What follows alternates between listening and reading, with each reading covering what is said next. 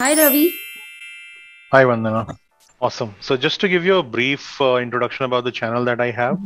Right. So, my channel is mostly focused on leadership Mhm. and the concepts around it. There has been some videos that I have produced in terms of uh, technology or a little bit of tools that could help in productivity or notes taking and stuff like that. Mhm. But mostly, sir, it revolves around leadership. And the kind of so subscribers that I have in the channel is, uh, is is something that comes across is very sticky, which means that once they are with me, they have not gone out. So everybody who has joined has been there. So I, I kind of value the whole group that I have right now. Uh, less number of people, but very sticky, and they kind of follow every time there is a video out. All content that is out, it is being followed by every one of them, right? And uh, there are four uh, mentees that I have who are also subscribed to it, and they are uh, young kids, and they learn a lot from these.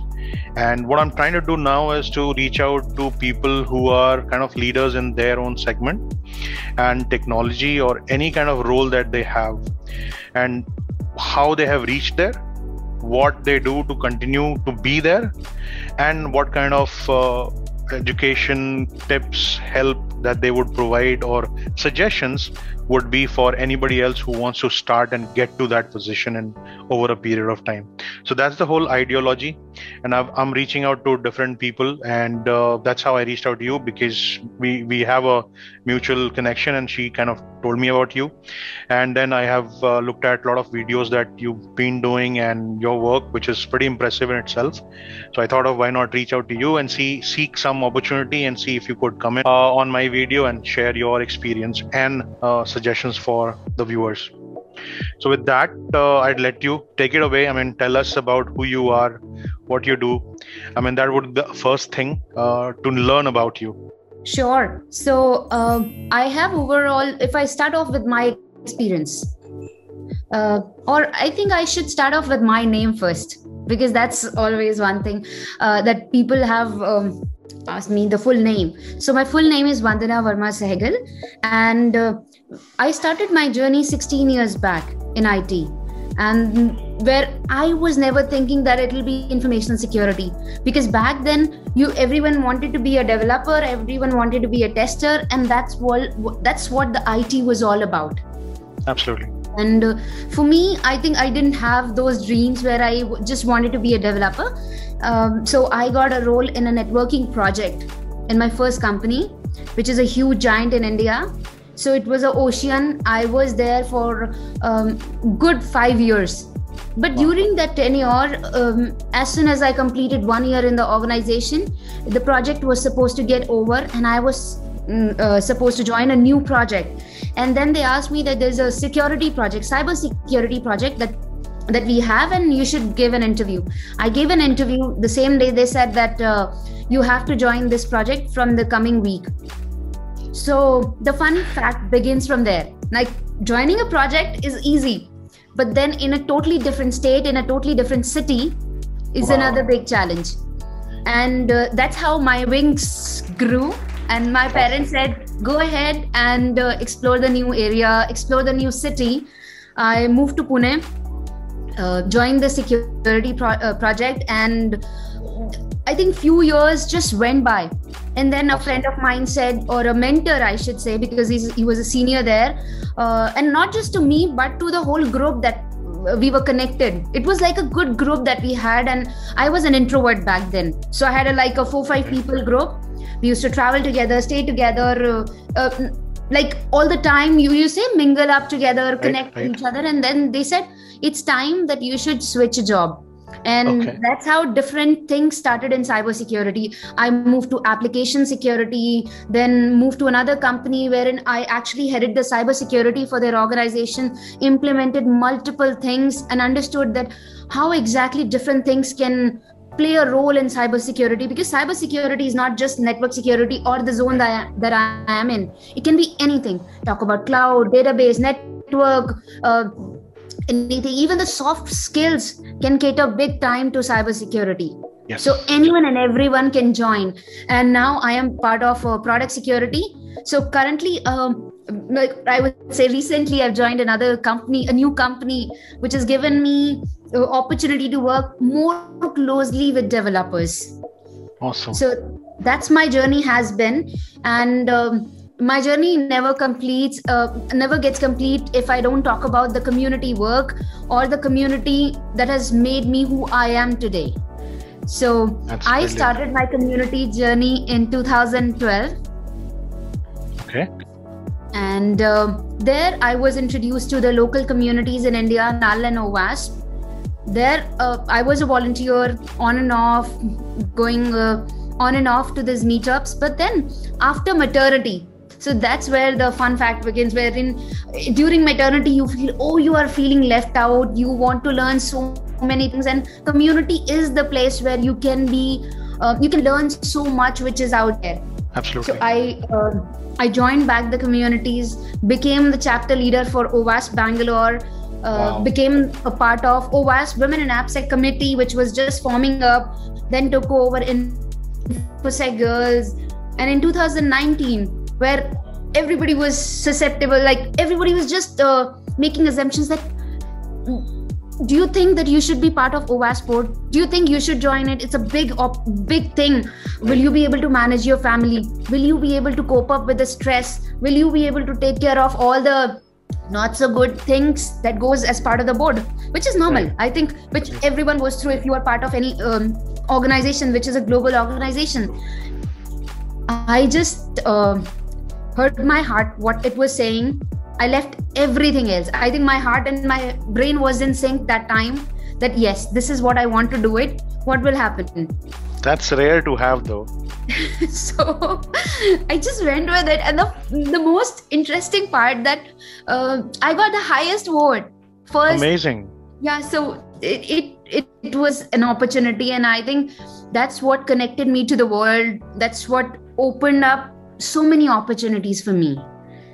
And I'm so glad. So brilliant. I mean, uh, learning about you right now, and then looking at the way you're speaking about you, uh, about yourself, and the things that you've done, you you still light up like a baby, and that's amazing. And I- I'm sure uh, everybody watching would would get so encouraged. I was just looking at your uh, LinkedIn profile and saw like two, back in 2005. That's when you kind of moved into uh, the security field, and that's when I was into a support engineer role. And as you rightly said, right, people were figuring out whether developer, tester, support, things like this, right, call center boom, and all of that happened at that time, and those were like the the job people would go. And uh, learning that you were in a role, and then you were asked to move into security something strikes me that it must be scary as well. I mean, it was completely uncharted, but you took the challenge and look where you are. So it's it's very Yeah. inspiring, very inspiring. Thank you for sharing that with us. Thank you, thank you for asking that. Amazing. And with that, now that you're part of the board for OWASP, right? I mean, I know people in security would understand what is OWASP, but my type of people will not know what it is. So a little bit about OWASP would help us. Sure. So OWASP is Open Web Application Security Project. And for any company, be it small, medium size, big size, or enterprise, I should say, not the big one, enterprise size, uh, if they have applications and they want to comply with the the uh, or I want to understand that what are the main threats that can be there for an application. So OWASP comes up with uh, things around that. So OWASP has top 10, which is Okay. OWASP top 10 for uh, web application security, which most of the companies are tier two. Even if I talk about compliances, PCI also quotes meeting uh, the OWASP top 10 list. Okay. But it's not just that. If I talk about from the holistic perspective of uh, all the people who want to understand the basis of security, OWASP has much more. OWASP has a web testing guide.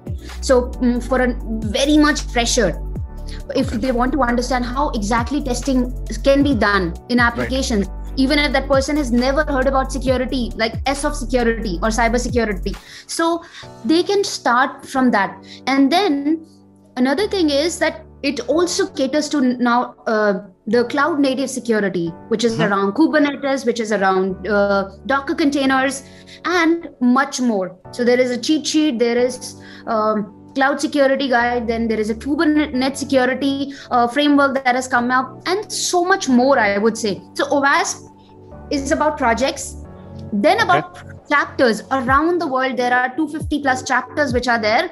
So the leaders are there connected with each other then they're hosting monthly meetups bi-monthly meetups.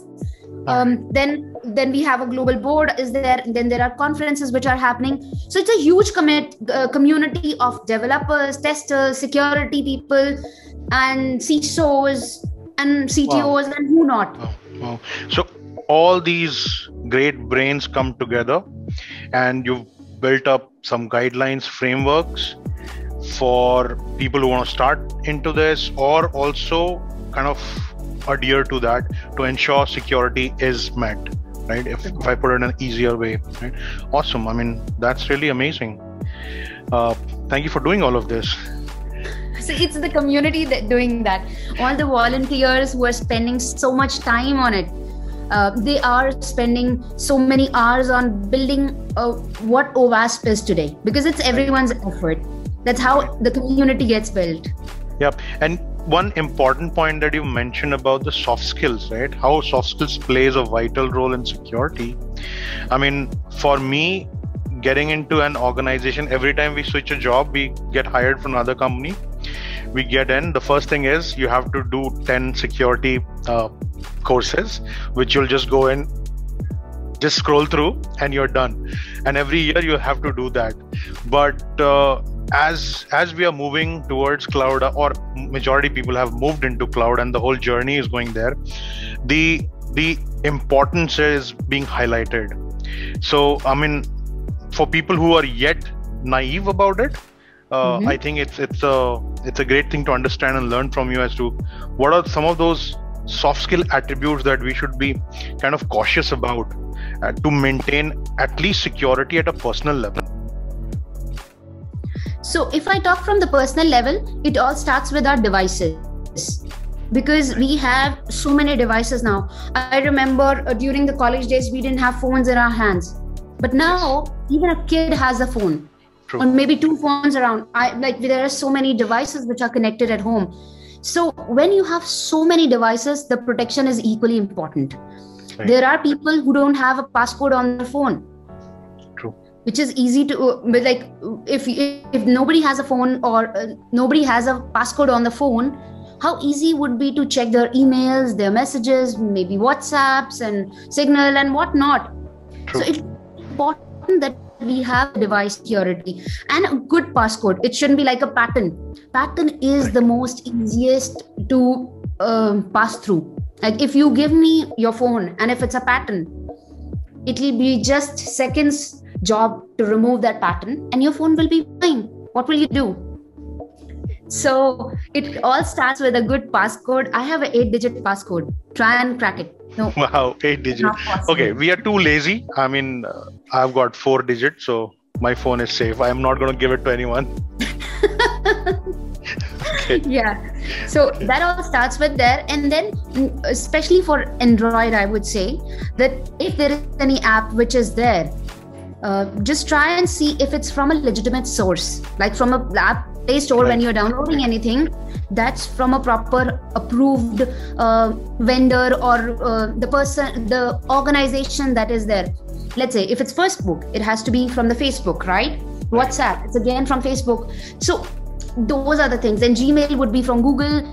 And on the same note i'll tell you that there was something that i was reading today wherein a, a person lost five bitcoins uh, um, just in a blink of an eye.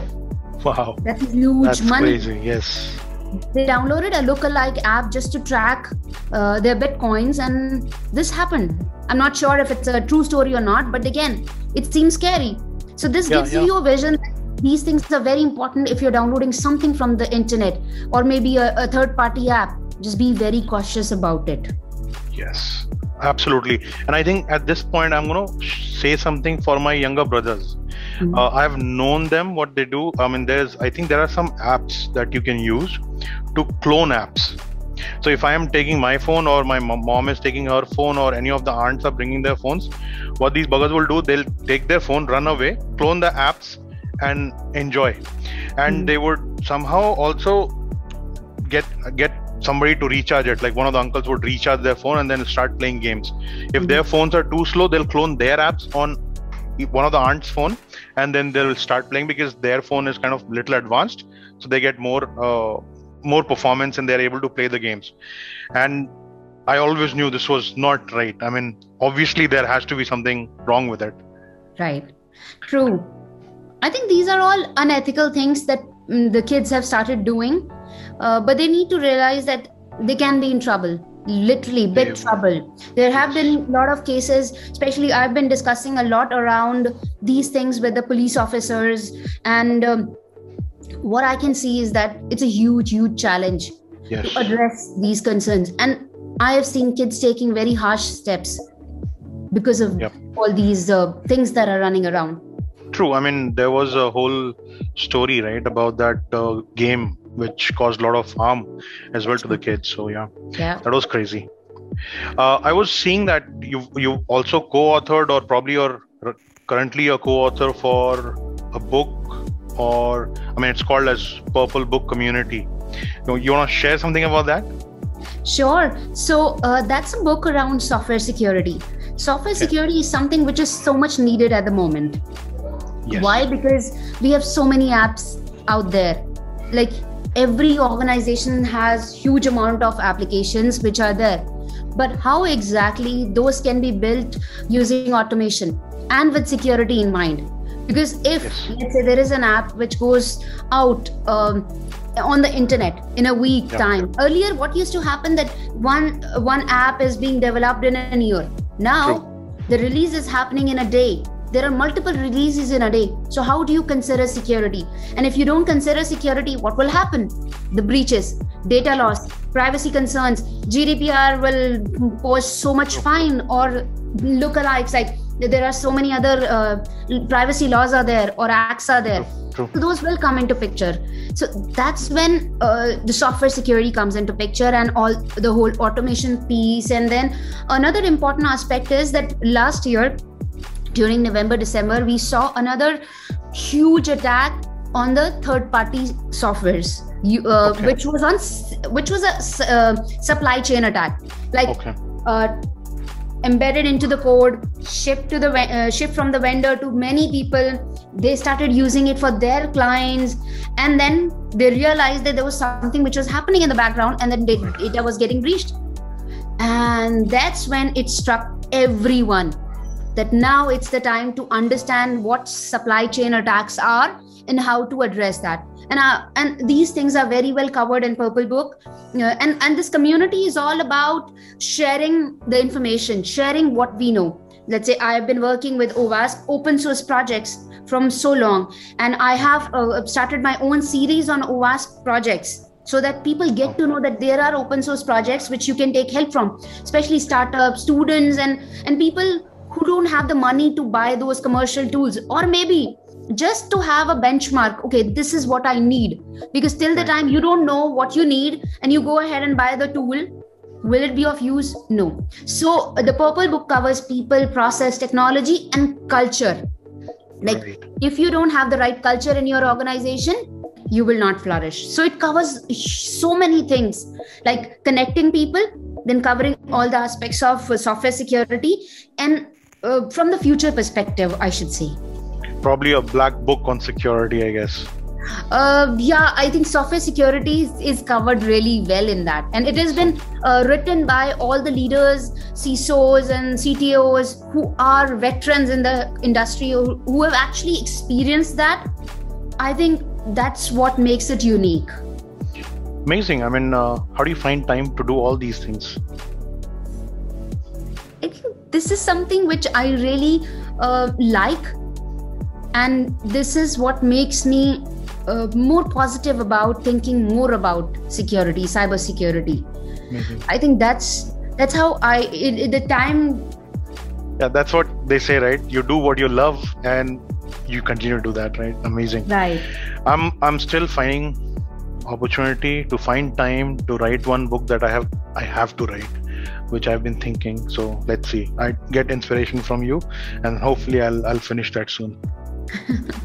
awesome. Now I have, as I said earlier in the introduction, right, that I have four mentees. Uh, they are currently pursuing their engineering here in Pune. Uh, so we connect monthly and uh, we discuss a lot of things. So as they're doing engineering, they're doing a lot in terms of learning the languages programming and all of that. But let's say they they want if they have to build their career in security what is it they, they should start doing from now?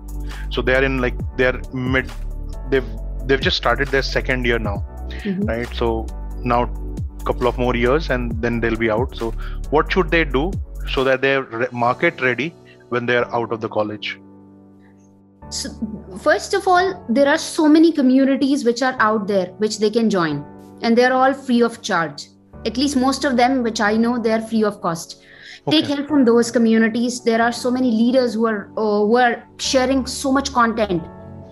Uh, they wow. can read that content. And then uh, even OWASP like i'm a huge preacher about OWASP so i would not leave that that if they are into development like they they know how to develop an application if they add security to it that means it's like a cherry on top of a cake. Amazing. And practically how they can do is there are so many vendors like github gitlab. They have student packs which they can take and they can learn how exactly things are built in a uh, enterprise ready environment. And when they experience it when they do the hands on when they get when they get their hands dirty on all these things i think that's when they are future ready they can speak uh, that yes these are the things that i know. There are so many open source tools. They don't have to have knowledge around commercial commercial right. tools. Right. they can learn in a month or maybe 20 days or maybe 10 days. It's easy. But if they have hands-on knowledge on all those open source tools it can build their skills amazingly. So uh, i'll give you i'll share my experience. I was recently uh, the invigilator of one of the colleges where there i was taking their practical exam where i was invited and there were some students which were exceptional. Like yeah. i was never close when i was in my college. They knew so much about what they have done like the projects that they have done. Oh. they had every single point. They knew what they have written in the project. And especially i was taking around cybersecurity so i was all amazed that they know about all these open source tools more than me. And how because they have worked on those projects and they made sure that every word everything that they work on they know about it they research about it. If not there are people out there who have worked on it they take help from there. And google gives you everything. Search about it it. does yes. I think that's where they can be ready and they have uh, two more years to cross that line. So in these two years they can actually be a champion around security. Like Amazing. you can excel in this field I'm sure after this there are four more followers that you're gonna get after this video. So they will definitely search you out and connect with you. So be ready for that. awesome. I I hope you like the discussion so far, and um, I wouldn't want to take more time of yours. Uh, I've got enough uh, already and I, I think i have to go and do a lot of reading so that i can put a proper description of this video uh, something that should honor the time that you've given us. And uh, with that, Vandana, I'm really thankful that uh, you've joined here and, and shared your journey and suggestions for us to kind of venture into and and be part of this security journey. Because as you've said right the release cycle is so agile now. It's as you've said multiple release in a day is like crazy. People have to compile it and then also think about security it's it's just madness. So yes we probably will get our hands onto that book as well. And uh, wherever possible we'll will ensure that we also share our point of views on that. But thank you so much. And any parting comments for us to be uh, on our toes? I would say uh, when it comes to security uh, it's, it's everyone's responsibility. Whenever you come across any device any application think from a perspective that what happens if that gets breached? And especially if you have your bank account your phone which is very dear to you which is very which is something which is very important. So think of it as your um, the highest possession which people say now because phone is where you keep everything. So secure it. I think that's where our personal security starts. And uh, once we start doing it I think the cyber security is not an area where people don't un- people can't understand. It's so simple that anyone who thinks from a mindset that what will happen if I do this? True. What will happen if I post this picture? True. And I think that's when the cybersecurity begins with everyone. And it's everyone's responsibility. We can't say that I have, uh, I am my if i have an app it's not my responsibility is the vendor's responsibility to take care of that app no password is your responsibility don't share it passwords are like toothbrushes do we share our toothbrushes no then why do we share our passwords Absolutely. like I, if you ask me um, so um, i have a five year old kid he peeps into my password every 15 days and gets to know my passcode right I get crazy. he does the shoulder surfing, and then I have to change my password. Uh, so it, it's cra- crazy. When you are outside, don't try and type the password in front of anyone. They can get to know. When I can get paranoid at home, how about everybody knowing your passcode? How scary that could be. So I think if we can take off those small, small things that can save us from the big issues that we might see in future, these are the these are my two cents around it. Great. Thank you. I mean, those are very practical, and uh, I think we all should be doing it. And uh, obviously, everybody in my house are going not going to get access to my phone now. Well, thank you so much, Vandana, for joining us. Thank uh, you. It was a pleasure speaking with you. Amazing. Thank you. Thank Have you. a great day. Bye bye. You too. Bye.